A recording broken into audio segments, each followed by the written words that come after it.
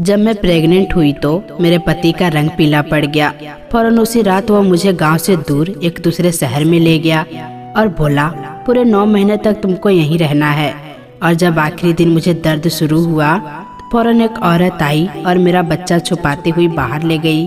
कुछ देर बाद मेरा पति रोता हुआ अंदर आया और बोला, बच्चा तो तुम्हारा मुर्दा पैदा हुआ था। मुझे बहुत अजीब लगा। ये दूसरी बार जब मैं प्रेग्नेंट हुई तो पति को कुछ नहीं बताया और चुपके से घर से भाग गई। एक दिन डॉक्टर से चेकअप करवाई तो वो अल्ट्रासाउंड करती हुई चीख पड़ी और थोड़ी ही देर बाद डॉक्टर की पूरी टीम ने मुझे जंजीर से बाँध दिया और बोले कि तुम्हारे पेट में तो मैं शादी की रात में घूंघट कर बैठी हुई थी, अपने पति का इंतज़ार कर रही थी। तभी दरवाज़ा खुला और मेरा पति कमरे में आया। उसके पैर मेरी तरफ़ बढ़ रहे थे। तभी वो आकर रुक गया मैं सोच रही थी कि वो मुझसे कोई बातचीत करेगा, मगर वो कुछ नहीं बोला। मुझे बड़ा अजीब लगा। तब मैंने अपना घूंघट खुद ही उठाकर देखा, लेकिन मुझे हैरत का झटका तब लगा जब मैंने कमरे को खाली पाया। मेरा दिल एकदम से धड़कने लगा। मैं डरी हुई नज़रों से यहाँ वहाँ देखती रही। तभी कमरे का दरवाज़ा दोबारा खुला और मेरा पति कमरे में आ गया। उसकी नज़र जैसे मुझ पर पड़ी, जल्दी से मेरे पास आया और बोला क्या बात है रीतू तुम इतनी घबराई हुई क्यों लग रही हो? मैं बोली, थोड़ी देर पहले ही कमरे में कोई आया था। जैसे ही मैंने घूंघट उठाकर देखा तो कमरा खाली था। महेश यानी कि मेरा पति बड़े परेशान हो गए। कुछ देर तो वो कुछ भी नहीं बोला, फिर हंसने लगा और बोला, रितु, पहले भी कमरे में मैं ही आया था। तुम्हारे पास बैठते ही याद आया कि मुँह दिखाई का गिफ्ट बाहर ही भूल गया हूँ। इसीलिए जल्दी से बाहर गया, ताकि मैं गिफ्ट ला सकूँ। महेश ने अंगूठी की तरफ़ इशारा किया और महेश ने अंगूठी मेरी उंगली में पहनाई और बोला, रितु, आज तुम बहुत प्यारी लग रही हो। तभी मैंने भी मुस्कुरा दिया। थोड़े टाइम बाद मनीष उठकर वॉशरूम चला गया। जब वापस लौट कर आया तो बोला, रितु, मैं थका हुआ हूँ, सोना चाहता हूँ। तुम भी यह भारी लहंगा बदल कर आराम कर लो। मैंने हाँ में सर हिला दिया। सुबह हुई तो मैं कमरे से बाहर निकलकर घर की आनंद ले रही थी। मेरी और महेश की अरेंज मैरिज हुई थी। हम दोनों एक दूसरे को नहीं जानते थे और न ही हमारा आपस में कोई रिश्ता था। मम्मी ने बस मुझे इतना कहा था कि, रितु, तुम बहुत खुश नसीब हो। जो तुम्हें महेश जैसा अच्छा हम सफ़र मिला है, जो बहुत अच्छा इंसान है। और सबसे बड़ी बात यह है कि उसके आगे पीछे कोई भी नहीं है। उसके माता पिता इस दुनिया से जा चुके हैं। भाई बहन कोई भी नहीं है। वो अकेला ही हर चीज़ का मालिक है। तब मैं बोली, मम्मी, मेरे पति का कोई रिश्तेदार नहीं है। कल को कोई बात हो गई तो उसे कौन समझाएगा? मम्मी मुस्कुराने लगी और बोली, बेटी, यही तो सारी बात है। रिश्तेदार नहीं है तो फिर वो किसके कहने में आकर तुमसे लड़ाई झगड़ा करेगा? बल्कि पूरी दुनिया में उसका तुमसे एक अच्छा रिश्ता होगा। बस मेरी बेटी, तुम अपने पति की बात मानती रहोगी तो भगवान के कर्म से कुछ भी गलत नहीं होगा। मुझे मम्मी की बात समझ में आ गई थी, इसीलिए मैंने महेश से रिश्ते के लिए हाँ कह दी थी और आज मैं उसकी बीबी बन गई। उसके घर की मालकिन बन गई थी। मैं घर की एक एक चीज़ को बड़ी प्यार से छू कर देख रही थी। हमारा घर छोटा सा था, मगर बहुत ही खूबसूरत था। हर चीज़ बहुत अच्छे से सजी हुई थी। चलते चलते मैं घर के पीछे चली गई, जहाँ एक छोटा सा कमरा था। मैंने सोचा कि इस कमरे में झाँक के देखूँ कि वहाँ क्या पड़ा है। मैं जैसे ही कमरे में जाने लगी, अचानक किसी ने मेरा हाथ पकड़कर खींचा। मेरा ऊपर का सांस ऊपर और नीचे का सांस नीचे रह गया था।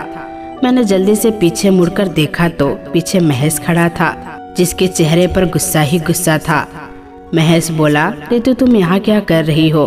मैं शर्मा कर बोली, अपना घर देख रही हूँ, हर चीज़ को महसूस कर रही हूँ। मुझे आपके घर की मालकिन बनकर बहुत अच्छा लग रहा है। महेश के चेहरे पर गुस्सा था। वो बोला रितु पूरा घर तुम्हारा है, बल्कि अब तो मैं भी तुम्हारा हूँ।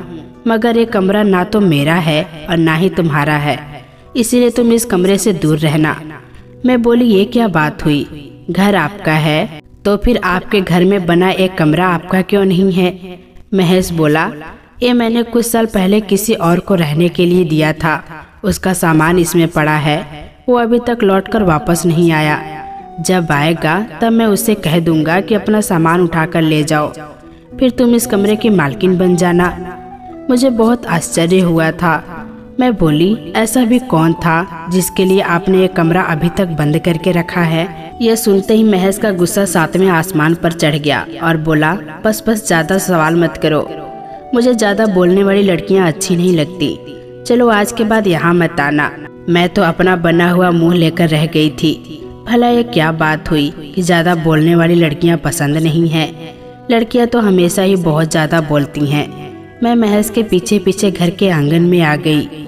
तभी दरवाजे का बैल बजा तो महेश ने जाकर दरवाज़ा खोल दिया। जब वो वापस आया तो उसने हाथों में नाश्ता पकड़ा हुआ था। मैं बोली, अरे महेश, आपने नाश्ता बाहर से क्यों मंगवाया? अब तो आपकी बीबी घर आ गई है ना? अब आपको कोई भी चीज़ बाहर से मंगवाने की ज़रूरत नहीं है। महेश ने बोला, आ जाओ, नाश्ता कर लो। हम दोनों ने मिलकर चुपचाप से नाश्ता किया। मैं महेश से नज़रें चुरा चुरा कर उसे बार बार देख रही थी। महेश बहुत खूबसूरत था, इतना खूबसूरत कि अगर उसके चेहरे को देखती रहूँ तो दिल ना भरे। महज नज़रें झुकाकर नाश्ता कर रहा था, जबकि मैं उसकी लंबी घनी पलकों को देखती रह गई थी। तभी मेरा पति महेश बोला कि तू मुझे बाद में देख लेना, पहले नाश्ता कर लो। मैं तो एकदम से हड़बड़ा गई थी। मेरी चोरी जो पकड़ी गई थी, मुझे तो इस बात की हैरत थी कि महेश को कैसे पता चल गया कि मैं उसे देख रही हूँ। नाश्ता करने के बाद महेश सारे बर्तन उठाकर किचन में ले गया और धोकर भी रखाया था। मैं बहुत खुश थी। महेश बहुत अच्छा इंसान था। बस मुझे उसके कम बोलने वाली आदत से थोड़ी सी परेशानी थी। खैर, इसका हल भी मैंने सोचा था कि मैं धीरे धीरे उसे अपने रंग में रंग लूँगी। बस ऐसे ही खुशी खुशी दिन गुजर रहे थे। कुछ ही महीने बाद में पेट से हो गई थी। मैं बहुत खुश थी। मुझे लगा कि जब एक खबर मैं महेश को सुनाऊँगी तो वो भी बहुत ज़्यादा खुश होगा। इसीलिए मैंने शाम को जैसे ही वो घर आया, मैं जल्दी से उसके पास गई और बोली मैं ऐसा बाप बनने वाले हो। मेरी बात सुनकर मेरे पति का चेहरा लाल हो गया था। वो मुझे फटी फटी निगाहों से देख रहा था। फिर बोला, बधाई हो रितु। तुमने तो बहुत अच्छी खबर सुनाई है, जबकि मैं अच्छी तरह समझ रही थी कि उसे मेरी बात सुनकर बिल्कुल भी खुशी नहीं हुई है। मैं चुप करके अपने कमरे में चली गई। मेरे आँखों से आँसू बह रहे थे। थोड़ी देर बाद ही महेश कमरे में आ गया और बोला, क्या बात है रितु यूँ बच्चों की तरह क्यों रो रही हो? मैंने कहा, आपको बच्चे की खबर सुनकर खुशी नहीं हुई, इसीलिए। मेरे पति ने मेरा हाथ प्यार से थामा और बोला, मुझे बहुत ज़्यादा खुशी हुई है। मगर आजकल मुझे कारखाने की तरफ़ से परेशानी है। मैं जिस ऑफ़िस में काम करता हूँ, वो दिवाली की वजह से छुट्टी जा रहे हैं। बॉस ने आज ये खबर सुनाई है कि सभी वर्कर्स को छुट्टी नहीं मिलेगी। खैर, हम दोनों ने मिलकर खाना खाया। महेश बोले, आज खाने के बाद कॉफ़ी पीने का दिल कर रहा है। मैं जल्दी से उठी और बोली, मैं अभी बनाकर लाती हूँ। तभी महेश ने मेरा हाथ थाम कर मुझे बिठा दिया और बोले, नहीं नहीं, तुम यहीं पर बैठो। आज मैं तुम्हें अपने हाथों से कॉफ़ी बनाकर पिलाऊँगा। मैं मुस्कुराने लगी थी। महस उठकर किचन में चले गए। तो मैं अपने बातों में खो गई थी। थोड़ी देर बाद ही महज कॉफ़ी लेकर आए। तो हम बातें करते करते कॉफ़ी पीने लगे। मुझे नींद आ गई तो मैं सोने के लिए चली गई। जबकि महज टीवी पर खबरें देख रहे थे। मैं ऐसी गहरी नींद पहले कभी नहीं सोई थी। क्योंकि प्रेगनेंसी की वजह से मुझे रात में उठकर वॉशरूम जाना पड़ता था। सुबह चार बजे के करीब मेरी आँख खुली तो मैं जल्दी से उठी और वॉशरूम चली गई। जब मैं वापस आई तो मुझे महज का चेहरा नज़र नहीं आया था और वो रात भर कमरे में आए ही नहीं थे। मुझे उन पर गुस्सा आया था कि सुबह ऑफ़िस भी जाना है और वो अभी तक खबरें लगाकर बैठे हैं। मैंने सोचा कि खुद ही जाकर उन्हें बुला लाती हूँ। मैं जब कमरे से बाहर निकली तो लॉन्च भी खाली पड़ा था टीवी भी बंद था। मैं बहुत परेशान हो गई कि आखिर मैं इतने रात को मुझे कुछ बताए बिना कहा जा सकते हैं। मैं सहन से निकली तो वो भी खाली था। मेरा दिल घबराने लगा था। तभी मेरी नज़र घर के लास्ट वाले कमरे पे आती रोशनी पर पड़ी। मुझे अजीब सी खुशी हुई थी कि शायद महज का किराएदार वापस आ गया है, जिसका सामान कुछ सालों से इसी कमरे में पड़ा था। मैं जल्दी जल्दी घर के पीछे जाने लगी। मैं कमरे के बाहर खड़ी थी। अंदर से महेश की आवाज़ आ रही थी। वो कुछ कह रहा था और रो रहा था। मैं बहुत परेशान हो गई थी। जैसे मैंने कमरे में जाने के लिए पैर बढ़ाए, अचानक ही कमरे में अंधेरा हो गया और महेश बाहर निकल लाया। वो मुझे देखकर बहुत गुस्से में आ गया था। उसने मेरा हाथ पकड़ा और मुझे घसीटता हुआ सहन में ले गया और बोला, रितु, तुम्हें मैंने मना किया था ना? फिर तुमने मेरी बात क्यों नहीं सुनी? तुम वहाँ क्यों आई थी? मैं बहुत डर चुकी थी। मैं बोली, महेश, आप कमरे में नहीं थे। मुझे काफ़ी फ़िक्र हो रही थी। कमरे से बाहर आई तो आप लॉन्ज में भी नहीं थे। इस कमरे से आती रोशनी देखी तो सोचा कि आपका किराएदार वापस आ गया है। इसीलिए यहाँ आ पहुँची। महेश मुझे कमरे में ले आया और बोला रितु अपने हक को पहचानो। वो कमरा तुम्हारे हक में नहीं आता है। तुम इस बात को समझ क्यों नहीं लेती? उस दिन के बाद मैंने कभी उस कमरे के बारे में सोचा भी नहीं था। दिन गुजरते गए और मेरी डिलीवरी का समय नज़दीक आ पहुँचा। सुबह से ही मेरी तबीयत खराब थी, इसीलिए मैंने महेश को घर में रोक रखा था कि किसी भी समय अस्पताल जाने की ज़रूरत पड़ सकती है। दोपहर में आराम करने के लिए लेटी तो मेरी तबीयत खराब होने लगी। मैं जल्दी से बोली महेश गाड़ी निकाले, मेरी तबीयत बिगड़ रही है। महज उसी टाइम कमरे से बाहर निकल गया और मैं दर्द से तड़पने लगी। मैं सोच रही थी कि महज कमरे में कब आएगा, मगर उसे तो बाहर निकले हुए बहुत देर हो चुकी थी। वो अभी तक नहीं आया था। मेरी आँखों के आगे अंधेरा छाने लगा। तभी महेश एक औरत के साथ कमरे में आया। वो बोला, रितु, ये बहुत समझदार दाई है। तुम्हारा डिलीवरी यही करेंगी। मैं हैरानी से महेश को देखने लगी। दर्द की वजह से मैं कुछ बोलने के काबिल नहीं रही थी।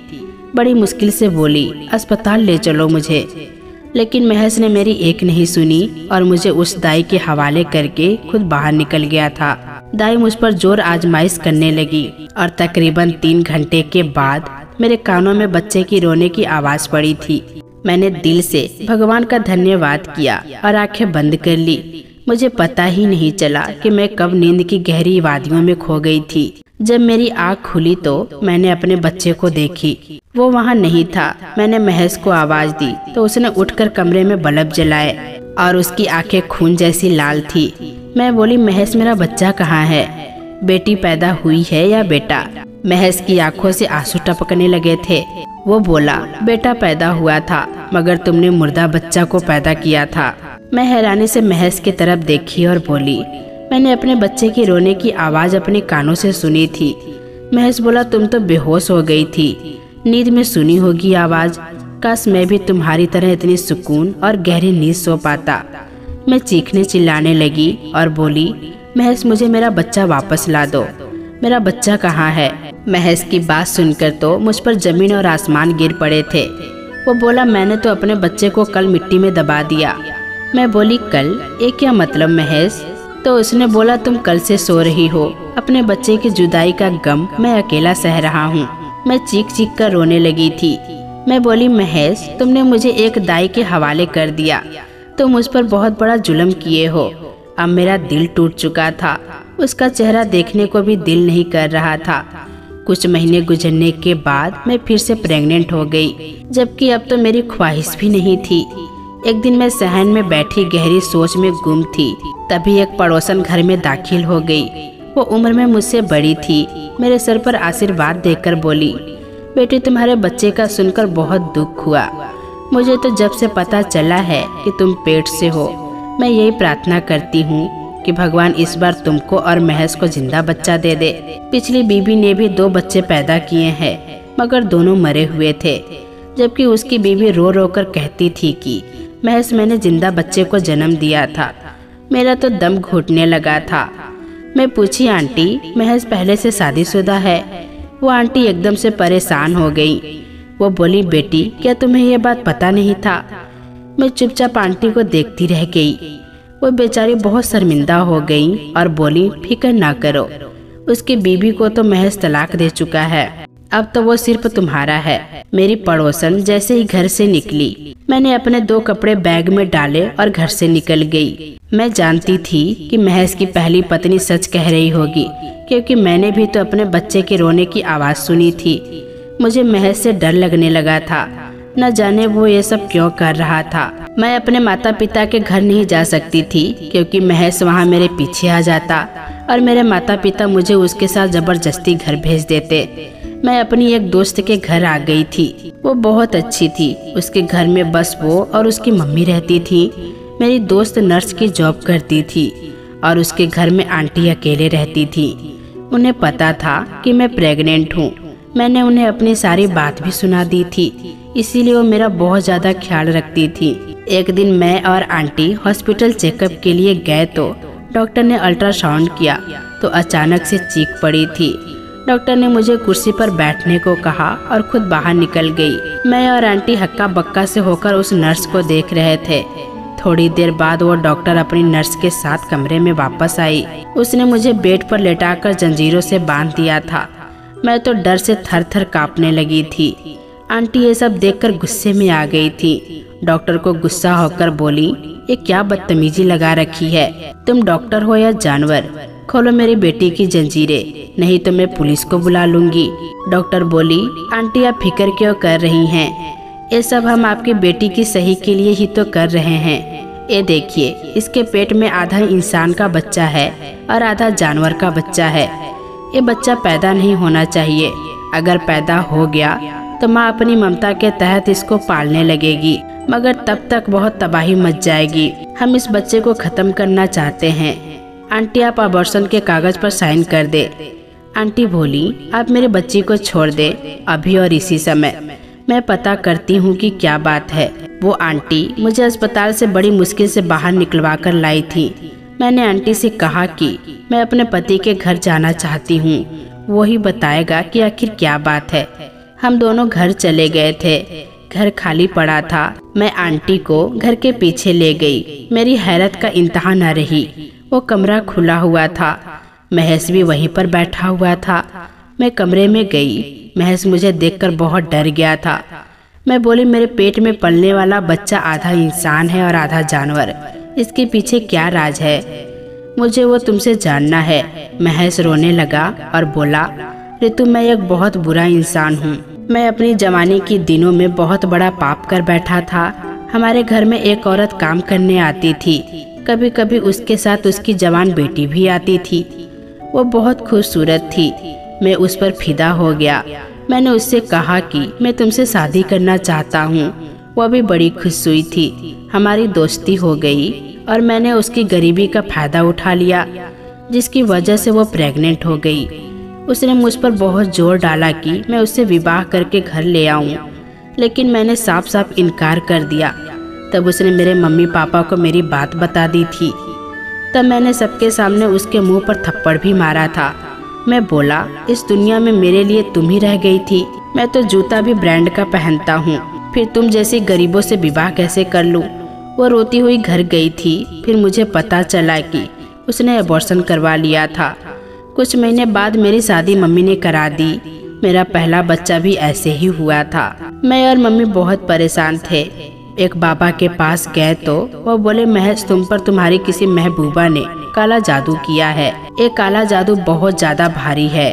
एक कई कई महीने चिल्ले काट कर किया गया है, ताकि तुम्हारा आधा बच्चा जानवर हो। मैं तुम्हारे लिए कोई उपाय देता हूँ। मैं बहुत ज़्यादा डर गया था, और फिर वही हुआ जिसका डर था। वो बाबा अभी जादू कर ही रहे थे कि वो बाबा भी मर गए। मुझे मालूम पड़ गया था कि वो शैतानी ताकत का मुकाबला नहीं कर पाए। मेरे दो बच्चे ऐसे ही पैदा हुए थे। मैंने अपने पत्नी से कहा कि, तुम बच्चे मृत जन्मती हो। उसे मेरी बात का भरोसा नहीं था, इसीलिए मुझसे तलाक लेकर चली गई। इस कहानी के सात साल बाद मैंने तुमसे विवाह की। इस भरोसा पर कि क्या पता वो जादू कमज़ोर पड़ गया हो, मगर ऐसा नहीं हुआ। तुमने बच्चा ज़िंदा ही पैदा किया था, मगर फिर वो मर गया। मैं अजीब नज़रों से महेश को देखती रही। मैंने उसे डिवोर्स को कहा। तो उसने मुझे डिवोर्स दे दिया। कुछ दिन बाद मैंने उस बच्चे को जन्म दिया था। वो थोड़ी देरी ज़िंदा रहा और फिर मर गया। उस बच्चे के साथ मैं भी अंदर से मर गई थी। मैं अपने मम्मी पापा के घर वापस चली गई। तो उन्होंने मुझे बोझ समझकर सर से उतारने की कोशिश नहीं की थी, बल्कि मुझे बहुत खुशी खुशी अपने घर में रख लिया था। मैं एक खुशहाल ज़िंदगी गुजार रही हूँ। मगर मेरे दिल से वो दुख और खौफ नहीं जाता है। तो दोस्तों, कैसी लगी ये कहानी? कमेंट बॉक्स में ज़रूर बताइएगा। फिर मिलेंगे दोस्तों अगली वीडियो के साथ। तब तक के लिए अपना ख्याल रखना।